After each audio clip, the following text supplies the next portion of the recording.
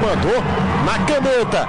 Passou, virou, perna direita, tocou em cima do Rafael Vaz, que faz domínio e agora sai jogando para a equipe do Ceará. Tocou na frente, vai Magro Alves na velocidade. Ninguém passa com ele, se aproxima o Lulinha. Magro Alves cortou para o meio, Lulinha passou e acabou se escondendo. Sobrou Magro Alves, bateu!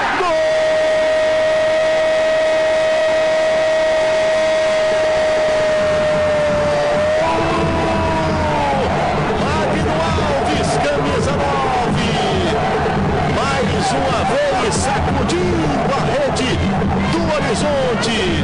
Aos 12 minutos do segundo tempo, esperou a passagem do Lulinha. O Lulinha acabou passando ali, ficou meio que escondido e a bola sobrou. Deu um passe meio que sem querer, querendo para ele mesmo.